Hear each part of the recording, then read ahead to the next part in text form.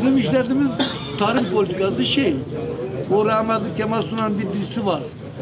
Para bizim neyimize? Ağamız bize ekmek veriyor ya. Şu anda bizim güttüğümüz politika bu yani. Bu Mayıs'taki seçim öncesi söz verdik. Dedik ki kazansaydık Türkiye'deki bütün tarım sulama projelerini ama tamamını barajlar, göletler, ishale hatları, damlama, yağmurlama sistem aklına ne geliyorsa hepsini 5 yılda tamamlayacağız. Ben 11 yıl ekonomi başında oldum. Bu ülkenin bunu yapacak parası da var, gücü de var. Ama parayı nereye harcayacağını nasıl önceliklendireceksin? Mesele o.